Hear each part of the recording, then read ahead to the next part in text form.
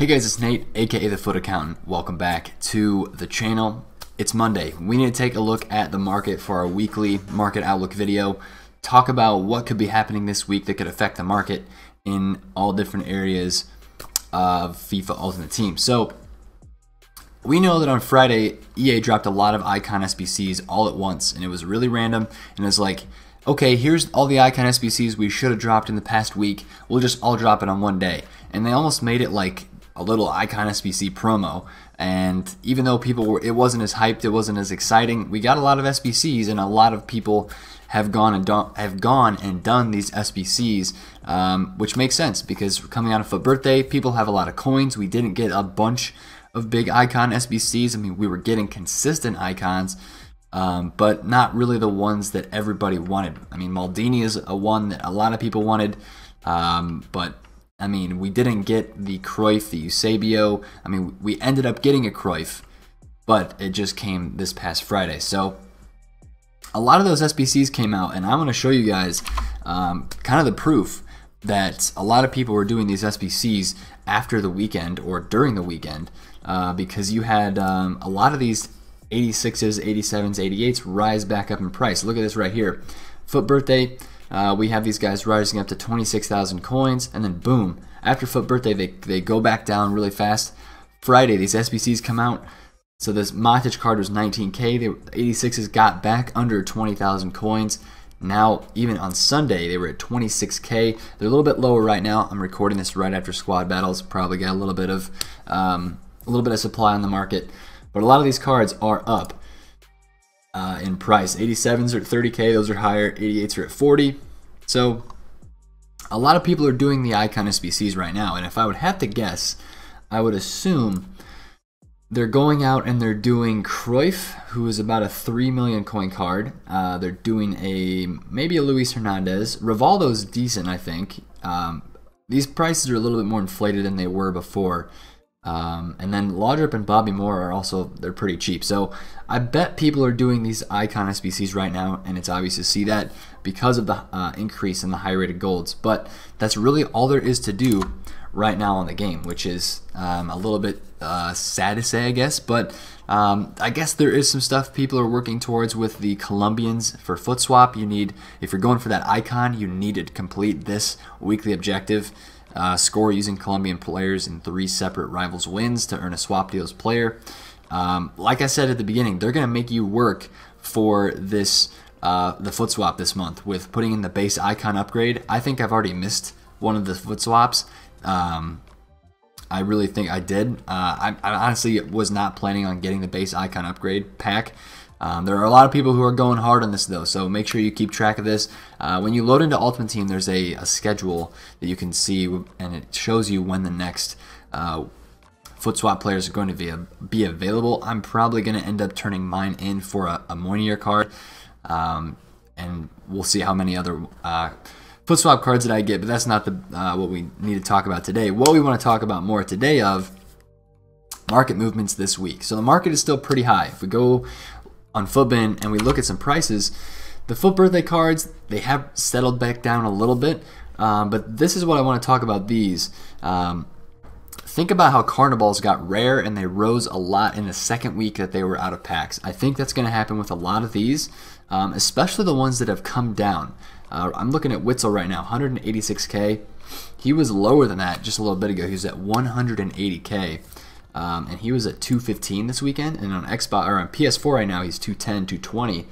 Uh, so I might be looking at this card to possibly buy a few of, um, just because he's a popular player in this game. And he went so high this weekend, I think he can go back up. So a lot of these cards people aren't invested in anymore. They don't have them sitting on their transfer list. They got those out this weekend when their prices went insanely high. People are done trying some of these cards for weekend league teams um, but people might continue to keep trying a few new cards if they haven't tried some of them already. Um, and since there's not a lot going on in the game, I could definitely see people going out trying to, you know, pick up a FUT birthday card to try it out. So if I see any deals on those, that might be uh, an area where you can flip cards this week, and that's where I want to focus as well. I posted a video yesterday about um, kind of the, the best way to to make coins right now on FIFA, and that is just by flipping cards. And you can exactly see that is what I have been doing. And Angel Di Maria's man of the match card has been the he's been the one that I've been flipping the most.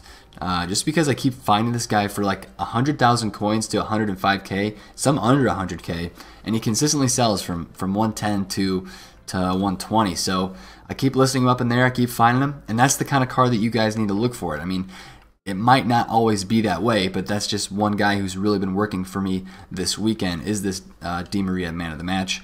Um, now I've been looking at Bernardo Silva man of the match just because a lot of these cards are rare and they fluctuate more often. Uh, but you can. The thing to do this week is going to be just flipping the informs uh, and not really going in hard on a lot of investments because I don't see a ton of things right now that I would really want to invest in. High rated golds are up. It's not a good time to do a club stock with those. They're high. Um, allow them more time to, uh, you know, kind of creep back down. But I do want to say one thing about that. Since we have more and more icon SBCs in this SBC section, um, and especially since a lot of these SBCs are pretty new, um, those high rated golds aren't going to drop right away. Uh, because now with every icon SBC that comes out, that's just a little bit more demand that those high rated gold cards have. Um, because people are putting them into into icon SBCs, and we're not getting a lot of supply. There are promo packs in the store, uh, but there aren't. Uh, we don't have like a promo going on, no lightning rounds or anything like that. So those cards aren't getting a lot of of supply. Speaking of promos. Um, I think EA maybe felt like they dropped their own little Icon SBC promo last week on Friday when they dropped all those SBCs. But we are technically due if they continue to follow the same plan of like two weeks off, one week promo, two weeks off. Um, we are due for another promo. So I don't know what that could be. There was an Easter card that was added to the code um, earlier this year, but Easter is in like two weeks and it's not entirely yet come. So I'm not sure what, what that could be exactly, um, but I do think that we could see some type of promo this weekend. And I think a lot of people on the market are just kind of unsure of what's going to be coming in this next week with FIFA. So they're kind of staying liquid.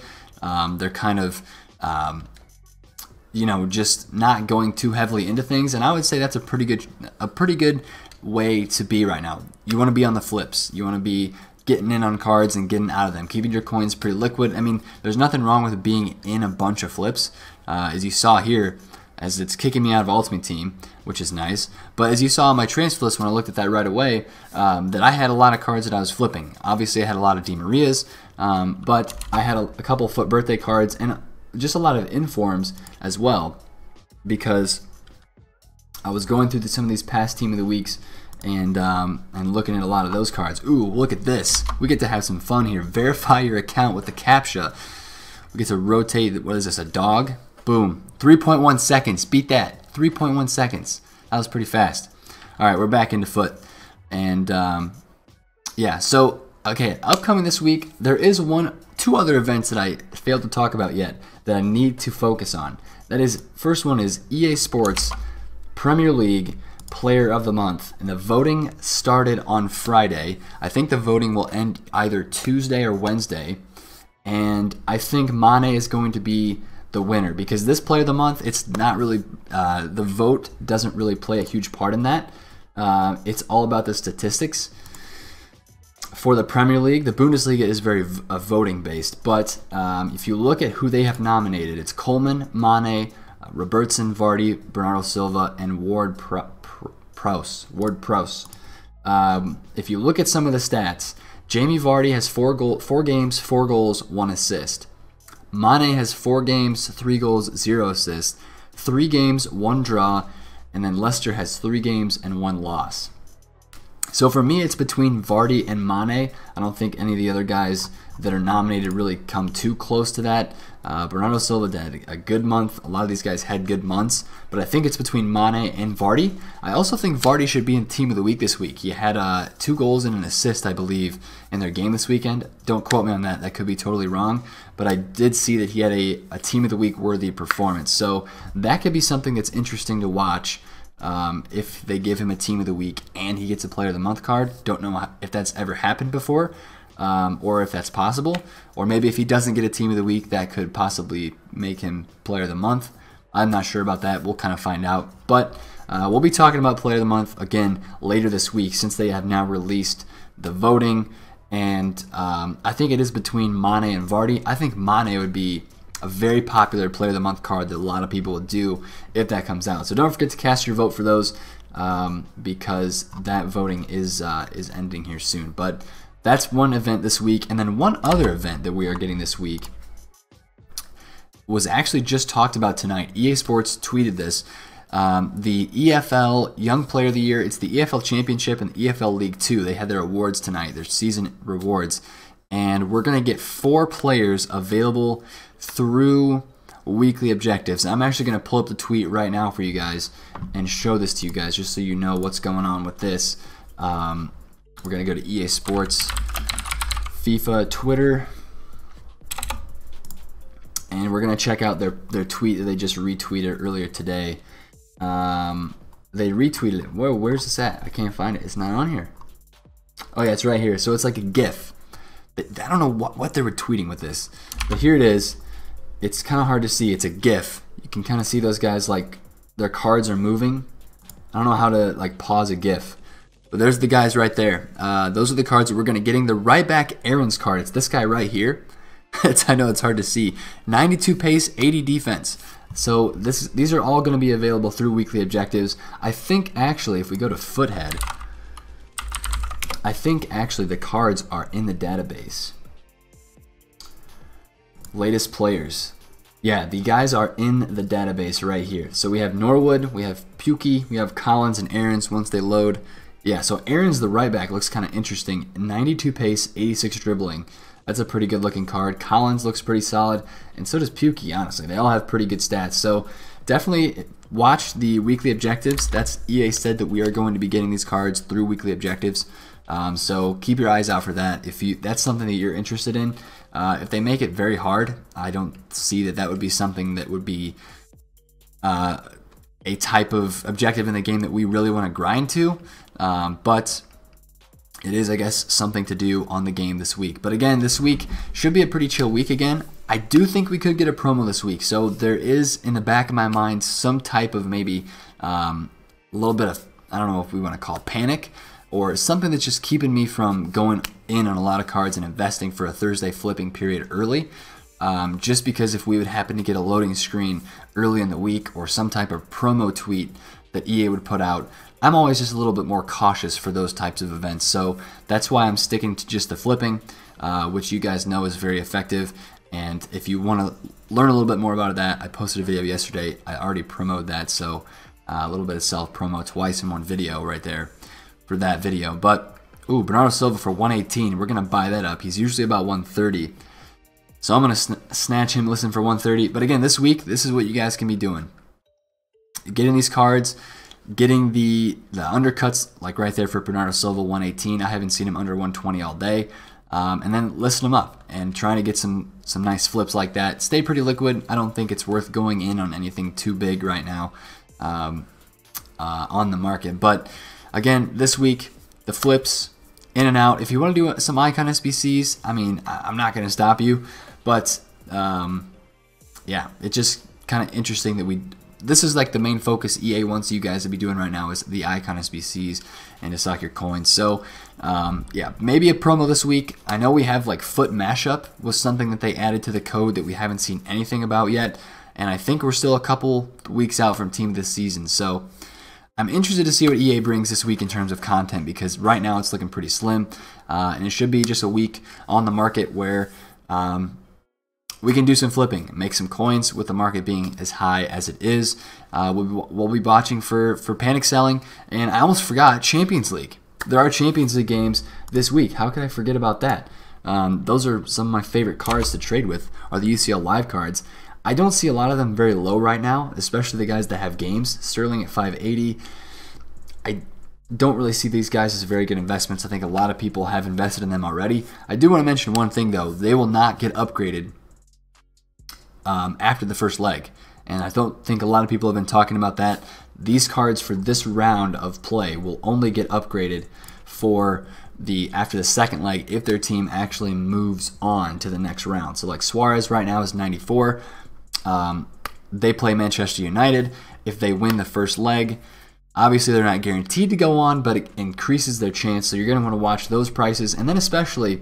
Um, let's say that Manchester United do lose, you're going to want to watch the price of this card because there were some comebacks in the last round um, where the, the team that won in the first leg did not end up moving on because in the second leg, the other team uh, had a nice comeback. So watch for some possible scenarios like that. Let's say that Spurs, um, let's say Spurs pull out a win. I'm a Spurs fan.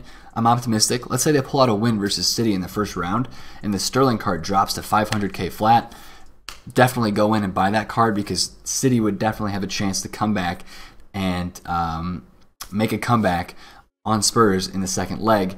Um, and this card would definitely be panic sold um, after that loss. So that's something to watch this week. Champions League games. I can't believe I almost forgot about that. I love Champions League. What was going on? Um, but again, it should be a kind of quiet week. Other than that, so watch the market, have fun flipping cards. If you're if you're playing the game, um, you know, go. Good luck to you. Have fun playing the game as much fun as you can.